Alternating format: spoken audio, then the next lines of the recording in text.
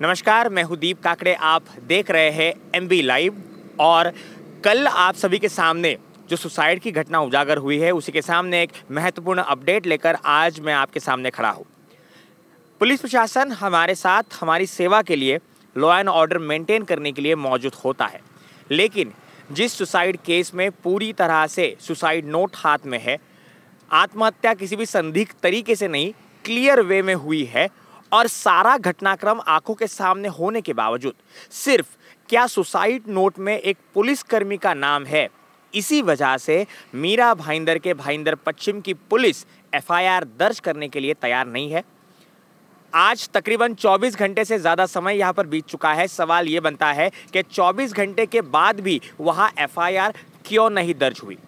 M live का सवाल आप दर्शकों से भी है। अगर ऐसी कोई घटना हमारे आसपास होती है तो हम सबसे पहले पुलिस की पुहार करते हैं।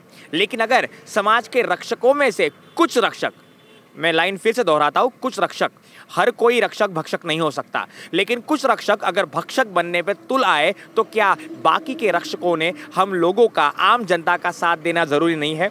मेरे हाथों में यहाँ पर सुसाइड नोट है, जिस सुसाइड नोट में पूरी तरह से जो मृतक है, रमेश पाठक इन रमेश पाठक ने पूरा वाकया यहाँ पर बया किया है। अब ये कितना सही है, कितना गलत, ये जाँच की बात है। इसमें जाँच होगी और जाँच के बाद सारी घटनाक्रम सामने आएगी। लेकिन इसमें जिस शख्स का, लालू नामक शख्स का और जिस पुलिस कर्मचारी का नाम यहाँ पर लिखा गया है, क्या कम से कम उनके नाम को लेकर यहाँ पर एफआईआर नहीं दर्ज किया जाता इंडियन पीनल कोड के अनुसार आत्महत्या को प्रवृत्त करने का भी गुना बहुत बड़ा होता है। It is almost like a murder तो ऐसी सारी चीज़ों में एफआईआर क्यों नहीं हुआ? ये सवाल बनता है।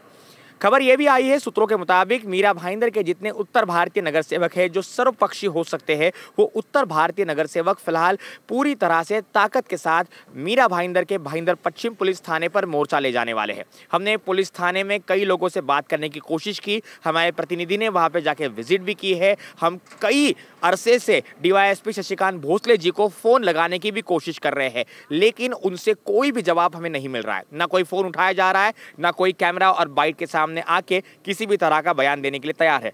अब ऐसे मौके पर जनता करे तो क्या करे? जो मृतक परिवार है, रमेश पाठक, उन परिवार के लोग क्या करें?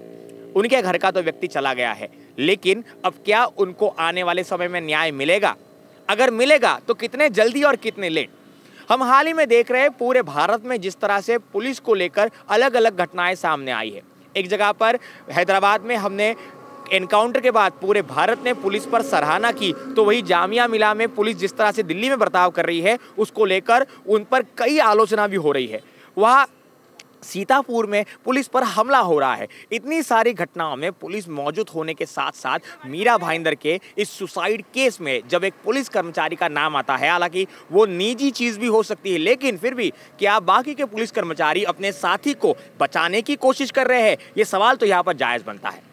थोड़ी देर बाद हमारी टीम आपसे जुड़ेगी और आपको वहाँ पुलिस चौकी से अपडेट देगी कि नगर सेवकों की वहाँ पे विज़िट के बाद क्या हुआ है। तब तक मैं आपसे सवाल करना चाहता हूँ कि जो सुसाइड केस है, इसके बाद अगर सुसाइड नोट में क्लियरली मेंशन आता है, जो कि एविडेंस पुलिस की ओर से बरामद किया गया है, ये किसी की दूसरे की लिखावट नहीं है। ये पुलिस के सोर्सेज से निकाली गई सुसाइड नोट है। अगर उसमें पुलिस कर्मचारी का नाम क्लियर कट आता है तो क्या वहाँ पर एफ़ कर कर दोषियों को गिरफ़्तार कर आगे की कार्रवाई करना जायज़ है या नहीं है?